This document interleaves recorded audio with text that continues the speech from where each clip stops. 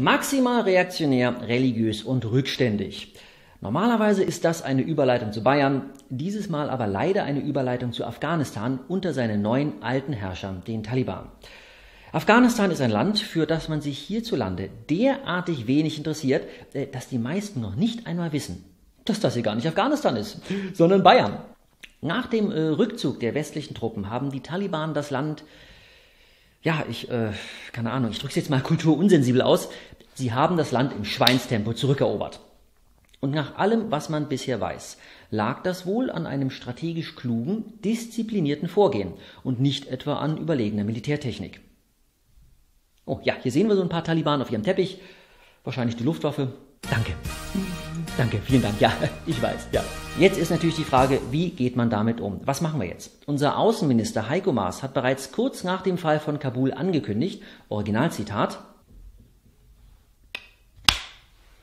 Wir werden keinen Cent mehr nach Afghanistan geben, wenn die Taliban komplett übernommen haben, die Scharia einführen und dieses Land ein Kalifat wird. Damit ist die deutsche Entwicklungshilfe für Afghanistan passé.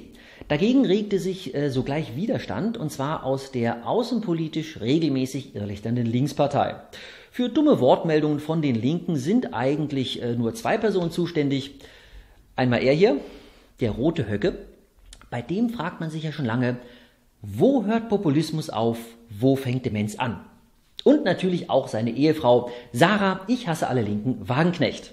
Darf ich jetzt eigentlich diesen uralt Gag recyceln? Die Sarah Wagenknecht hat einen Oscar gewonnen? Nein! Nein! Ist ja schon gut, meine Güte. Wird ja schon mal fragen dürfen. Also, dieses Mal jedenfalls kam ein merkwürdiger Beitrag aber von Gregor Gysi. Direkte Entwicklungshilfe, also Geld an die Taliban, will er natürlich auch nicht zahlen, meinte aber, Deutschland könne etwa in der Bildungspolitik projektbezogen Schulen unterstützen, unter der Bedingung, dass man Einfluss auf die Lehrinhalte hat und auch Mädchen dort unterrichtet werden. Also für ein paar Millionchen akzeptieren die Taliban in ihren Schulen Humanismus und lassen sogar von Frauenunterdrückung ab, einer der wichtigsten Säulen ihrer Ideologie. Ganz ehrlich, auf die Pointe wäre ich nicht gekommen. Jetzt muss ich den Gregor Gysi aber auch ein bisschen in Schutz nehmen. Der arme Mann saß im Deutschen Bundestag jahrelang neben Abgeordneten von CDU, CSU und FDP. Daher glaubt er natürlich, bei konservativen Rechten und Reaktionären seien alle Positionen verhandelbar und Politiker käuflich. Aber wissen Sie was, Herr Gysi? Die Taliban. Die Taliban sind noch schlimmer als Christian Lindner. Nein!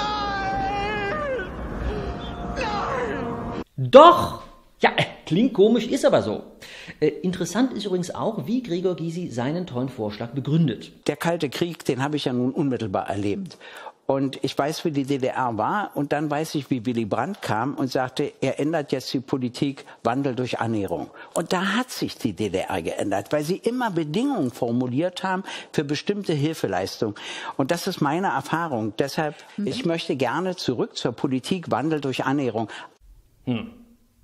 Ganz ehrlich, als DDR-Bürger mit außenpolitischer Expertise sollte Herr Gysi doch eigentlich wissen, dass es vielleicht ein paar kleine, unbedeutende, also wirklich nebensächliche Unterschiede gibt zwischen der DDR und den Taliban. Na gut, okay, in beiden Fällen regierten Betonköpfe und Männer mit Bart hatten die größte Autorität. Und ich muss ja auch ehrlicherweise zugeben, Gregor Gysi hat in diesem Gespräch auch sehr viele richtige Punkte angesprochen.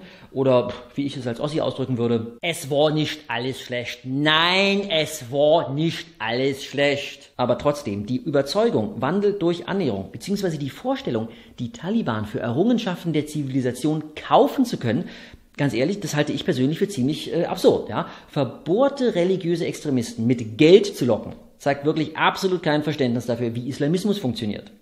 Daher freue ich mich auch schon auf die nächsten Vorschläge der Linkspartei. Ja? Hier zum Beispiel Freibier für Pressefreiheit. Für jeden kritischen Journalisten, der nicht erschossen wird, spendiert Deutschland einen Kasten Krombacher. Ja, und hier zweitens Quoten für LGBTQI bei der nächsten Steinigung. Wobei ich glaube, da kommen die Taliban selber rauf. Egal. Liebe Taliban, kleine Info für euch bzw. für eure religiösen Führer.